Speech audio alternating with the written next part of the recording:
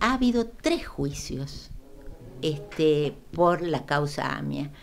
Y, pero los tres juicios, el primer juicio que lo dirigió, lo tuvo a su cargo el doctor Galeano, en realidad eh, se tuvo que anular porque eh, el doctor Galeano se comprobó que había eh, eh, digamos, había irregularidades en todas las acciones que había realizado. Por tanto, todos los imputados eh, que hubieron en ese juicio quedaron en libertad. Posteriormente se hace un segundo juicio este, donde quedan imputados el mismo juez Galeano, el doctor Rubén Beraja, que era el, el, presidente de la DAIA en ese momento, el presidente Menem inclusive, este, y varias eh, figuras, Teyeldim, que fue la persona que eh, vendió y, armó el coche bomba, ¿no?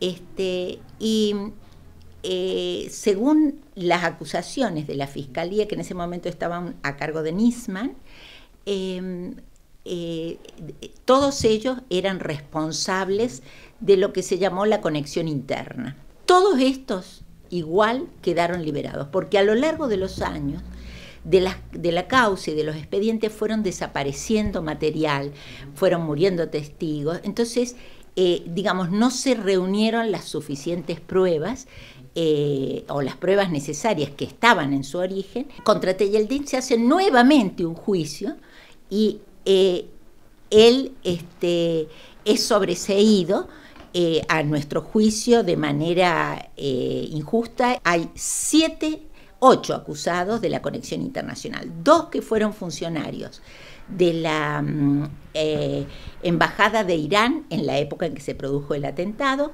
y seis que, se, que eran las autoridades que, que ideológicamente gestaron el ataque en Irán, que incluido el presidente de Irán está incluido en esto, y un libanés. En este momento yo creo que hay que apuntar básicamente a la conexión internacional, que es para la cual hay acusados, y para la cual se está planteando una nueva modalidad que no es que todo el mundo esté de acuerdo dentro de la comunidad judía, pero yo particularmente sí lo estoy, que es el juicio en ausencia.